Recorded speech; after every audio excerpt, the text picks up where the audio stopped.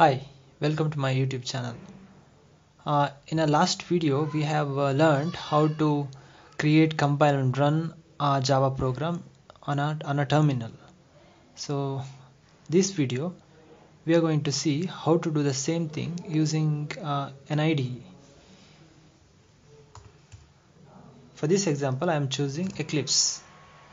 It's one of the most famous open source integrated development en- environment for Java. So now it is asking for a path uh, where where your projects will be saved. So I have chosen some of the path. You can choose any way you want. So why IDE? Because when the project becomes very big, so maintenance will be very easy using integrated development environment rather than coding on a you know terminal okay? So file new. So let me create a new project. So it's a java project. I'll select java. And it's asking for you know project name. So i'll give uh, my java project as project name. And uh, rest of the thing I'll uh, you know just leave as it is. So here you can see it's a Java 1.8 selected. So everything is uh, by default. You just leave it as it is. So give finish.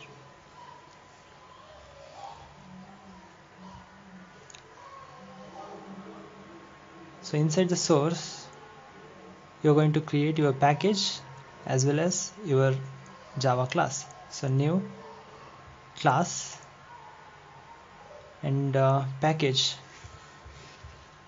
Package uh, by convenience uh, you can give your you know website name. So i'll give my website you know com.my website.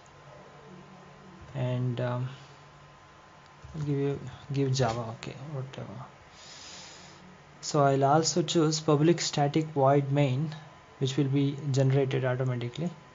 So rest I will leave as it is. And uh, of course more important the name. I'll give sample and finish. So here you can see inside source folder uh, your package com.mywebsite.java has been generated inside that you can see your class name.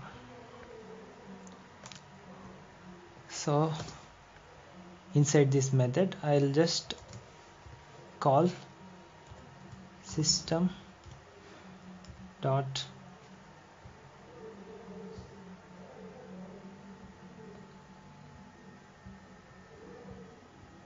system dot out dot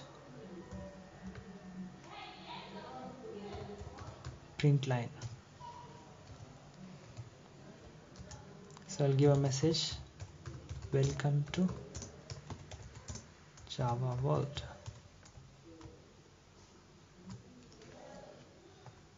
And save control S and just run here. Okay. So run as Java application not as you know run on server if it is Java Enterprise uh, you should run on server like Tomcat. So now I am just running as Java application okay?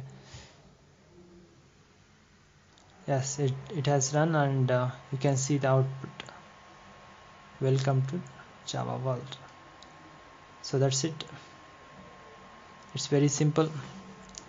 Thanks for watching and please don't forget to like and subscribe. Thank you